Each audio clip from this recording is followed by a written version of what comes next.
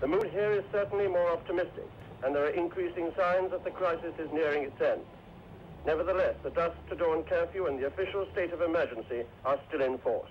It was never clear in my mind uh, that the Black Power boys wanted to seize political power. I think they saw themselves essentially as a pressure group. And they were hoping that the kinds of issues they were raising would be taken on by the government and they would begin to resolve these problems of discrimination, you know, in the banks and in the businesses and so on, which Williams eventually did, by the way. But I don't think they ever saw themselves seizing political power. Um, they certainly would not have had the support in the country as a whole. I don't think people were interested in that. Now, just because I represent my people who really didn't come out for war, you know, I got caught up in a struggle. I will have to go to jail or even die for. We were given our assignments, and mine was to turn Nelson Island into a political prison. And I held that position on Nelson Island for nearly six months. But then we all have to go one way or the other. We didn't come here to live forever because they take away my people's liberties and they made certain laws. On Nelson Island, sometimes things got a little tense. You know, we had to really manage human relationships there. And people had worries because, you know, they say that when you're in prison, they give you, they put sulfur in the food. It's just the lighter side of detention now. You know, they put sulfur in the food to kill your sex drive. So people used to be very worried about what they were, about what they were being fed and wanted to know if everything would be in working order at the end of all of this. there was a lot of worries about that you know. So, so it, it wasn't only political, uh, wasn't only political concerns. There were other concerns as well. There was no real problem of intimidation and brutality and that time in Nelson Island. I want to be very frank and fair. But I would say this, you know, that I would rather stay in Nelson Island 200 times more than I would stay in the Royal Jail. The Royal Jail is hell, absolute hell. But you could put me where they held those detainees because I would die for a worthy cause. I'll go to jail to balance the scale that justice should prevail. We are not for sale. I am willing to die for my brother man in the fight for the black man's liberation. When you come into the prison, the first thing you go is into, um, when you're charged as a prisoner, you come in and you have to go into a room for measurement. That is to get your, your prison uniform. And you have to take off all your clothes and stand up there in front of all the officers and whoever and the other prisoners. You're all there lined up naked, and people are making comments about your bottom and your private parts and, and all these sort of things that are taking place there. In Royal Jail at the time, also the, the soldiers were there. Raffique and all, uh, Bazi and on these other guys. And uh, it, it, had a big influence on, on what the prison officers could have done or not done. Because they were, they were mutineers, they were political detainees, they were on trial. Um, a number of the top detainees like uh, Makandal Daaga, George Weeks, even Clive, a number of them were in Royal Jail itself. So you had a hotbed of political and social turmoil within that organized prison system. So that um, by the time I had arrived there, it had already had an upbeat in terms of how even the prisoners were breaking all the rules and they were depending on the imprisoned soldiers. And there was a lot, and there was a lot of beating, a lot of beating of prisoners who were breaking up the regulations. Because what they would do is that they would isolate them in the night when they close the cells and come in the cells and break, uh, cut, uh, really, I mean, really brutalized the prisoners because the prisoners were prisoners, but we were detainees, so they couldn't hit us. Because, you know, other than that, outside too, people used to be threatening them prison officers. If you hit so and so, remember, you had to go to, we know where you're living and all them kind of things. So they were also constrained by that reality. So I think that the, the prison was not just a prison. It was a microcosm of all the rebellion and the, and, the, and, the, and the confusion that was taking place in the society at the time. When you see visitors' time came, and all the soldiers' family came, and all the activists' family came, and you were inside this place for visitors and things and so on. And then they started regulating it six by six. So they, they, when all these women came there, they used to be getting on in the prison. And you hear everybody shouting power, and all the prisoners shouting power to the people, and the whole prison shaking with this noise. In visiting one of the detainees, there were little groups who would come out for visits between the bars, and um, he came out with this person, and so I was introduced. So we actually shook hands or fingers through the bars because they were little, just little wiring scoops. And this is how I met Makandal. This is not really known. it was really something when those women came to those to that prison and they used to have the place shaking down, you know. Subsequently, there the mutiny trials, and Williams didn't believe that anybody in Trinidad could be objective about the events, so he brought in a, a, a group of Commonwealth military officers from the Commonwealth, including one Colonel Theophilus Danjuma, who in the middle of the mutiny trials was recalled home to a mutiny in his own country. It was that the attitude of the government was, you want black power? You're talking about black power? Well, take black people, we will bring them from Africa to try you. That is what it was. That's why they couldn't bring the English or, or the Americans or what have you. you know, they wanted to bring the black people. You talk about black power, take black power. That was what it was. The mutiny trials were a scandal. Uh, you know, they were very badly organized. The, judges, they were army officers that they imported. They had imported from uh, Africa and Singapore and other places. Uh, they were, and the judge advocate was also from Ghana. From Ghana and um, they committed some some abominations of of of law and of uh, criminal procedure in the mutiny trials. From the first day, it was very apparent they didn't understand us and we didn't understand them, right? So it was a big charade going on.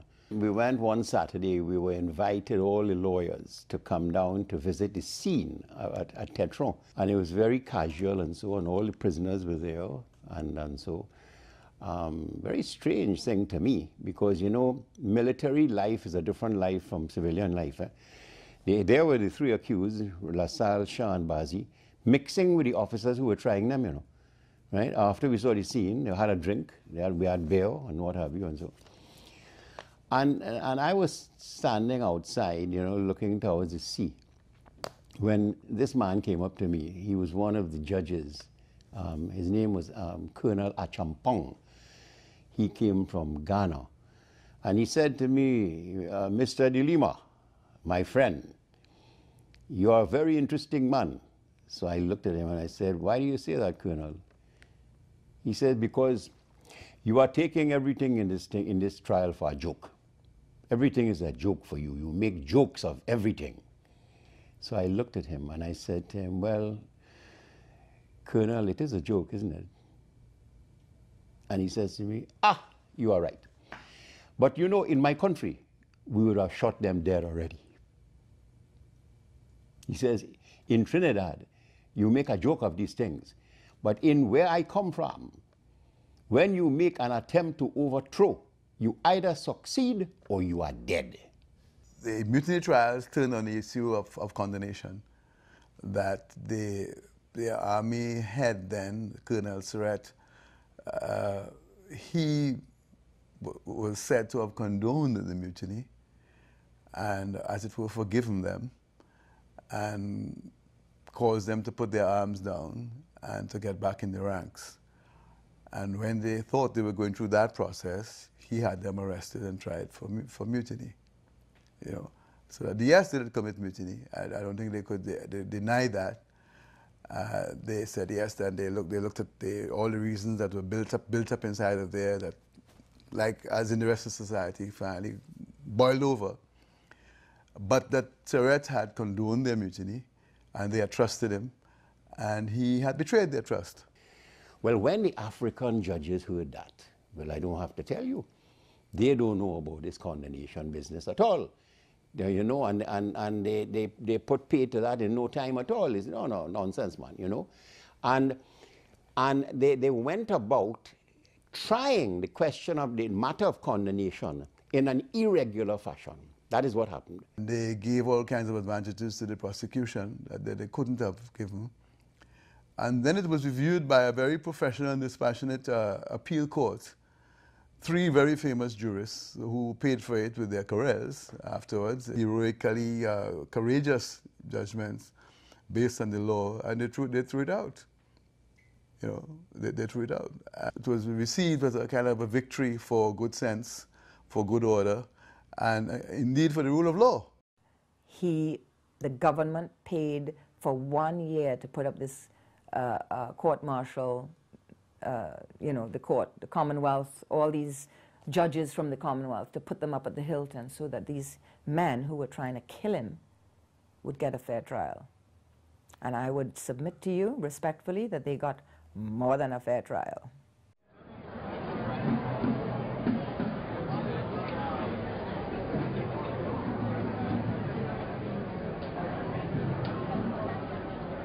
I remember it's interesting that Geddes Granger making a court appearance one morning. His skin had turned ashen, you know, from confinement. He looked almost white, actually. And there was a crowd outside the court. And when Granger came out the back of the Black Maria, you know, he shot his fist in the air and shouted, Black Power! And the crowd just looked. They just looked on. And I realized at that moment that he had lost the crowds. They, they realized that Williams is a more powerful figure and fickle as crowds can be, at that moment I realized that's it. Granger can't pull that crowd anymore. And when he was subsequently released, he held a few meetings, but the crowds were very small, very unenthusiastic. It was a power play, and Williams proved himself to be the more powerful person. So that was the end of that. Democracy means recognition of the rights of others. Democracy means the equality of all in the eyes of the law.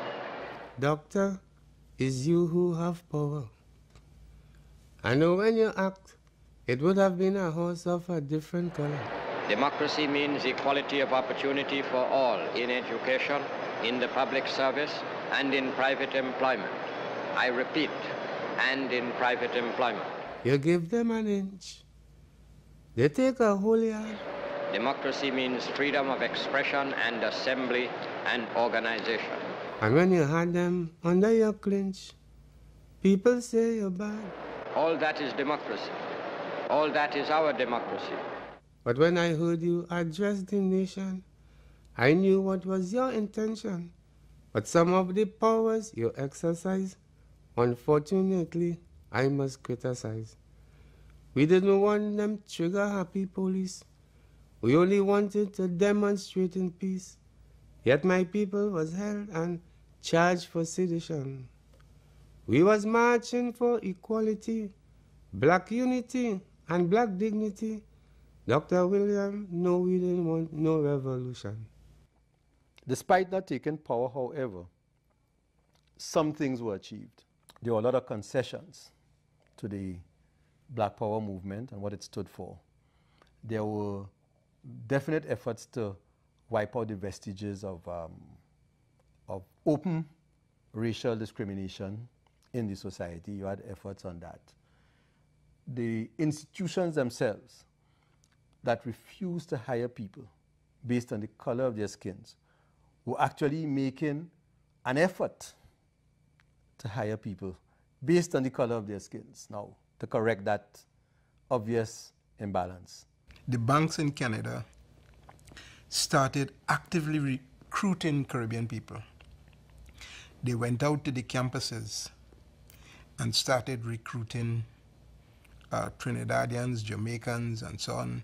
And I remember a funny situation in Windsor. I had a friend, Trinidadian friend, French Creole, who told me he went for an interview and the bank said, We're not looking for people that look like you. Every time I go into a bank in Trinidad, right, I look at those little black girls there, you know, well dressed and so on, and going about their business.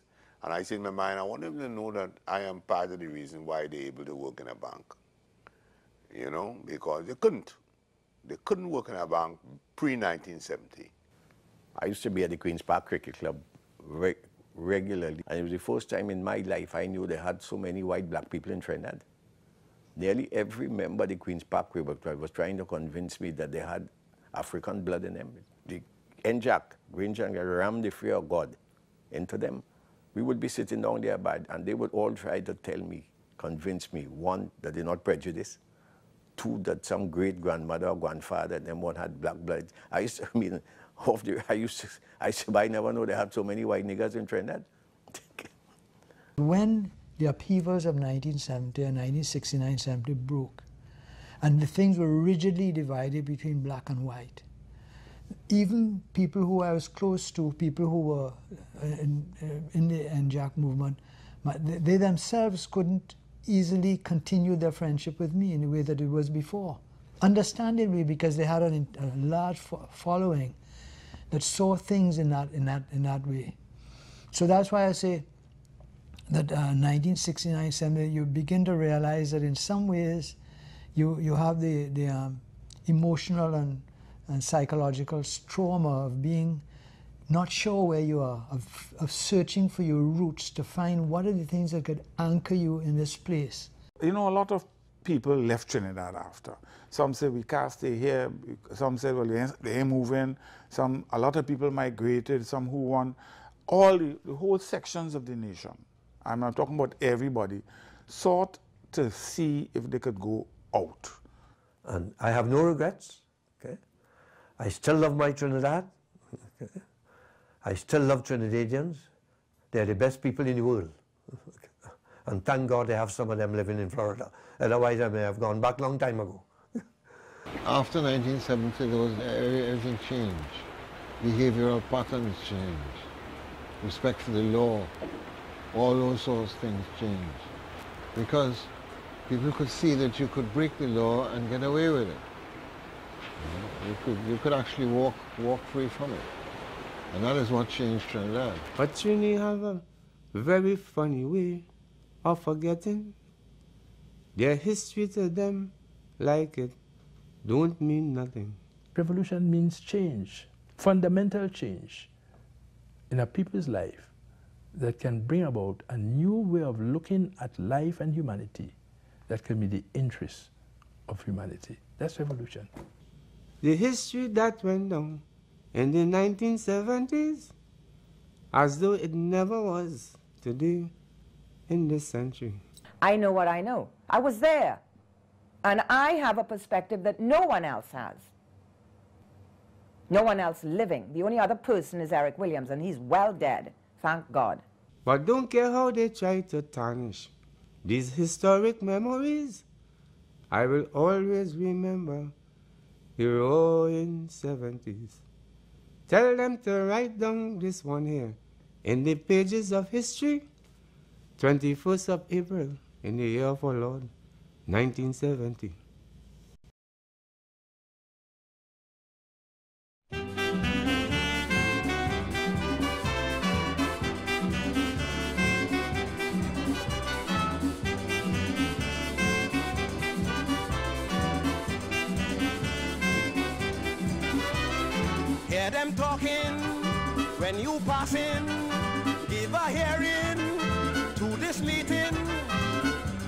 Has reached when we should talk openly and tell them what we want is black dignity.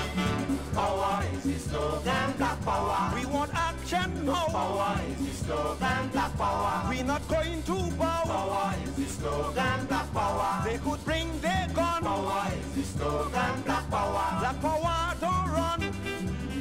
We had the courage of our convictions. And that is what youth is all about, having the courage of your convictions and following your heart, following your mind, following what your heart and your mind tells you is just and is true and is right. Come on, brother. Come on, sister. It's important. Be observant. Remember all the things they have promised you. But when they got in power, what did they do? Is the slogan, black power. Tell them Granger say, Power is the slogan, black power. We ain't come to play. Power is the slogan, black power. They making we hop. Power is the slogan, black power. And it got to stop. At a particular point, the youth of this society has got to be able to stand up brave and bold and say, this is our country, We got to save the country. Take Tobago, as we all know, lovely water flows all over.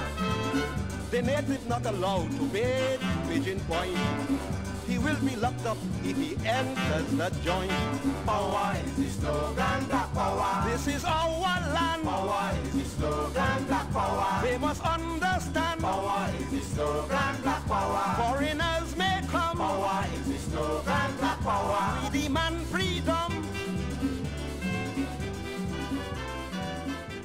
It educated us, not just about being African, but about you as a human being and your rights to justice and for your place in society. Demonstration through the nation is the motto we must follow. Our dignity, of course, we have to defend. And if we have the cause, we'll fight to the end. Power is the slogan, black power. We on the right track. Power is the slogan, black power. There's no turning back. Power is the slogan, black power. We will fight them all. Power is the slogan, black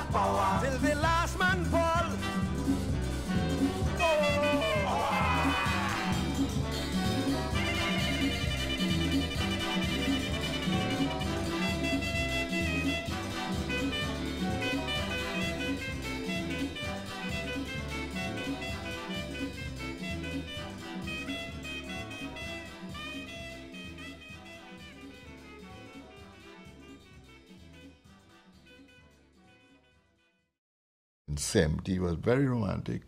You break a glass, you enjoy yourself, back a line run you down.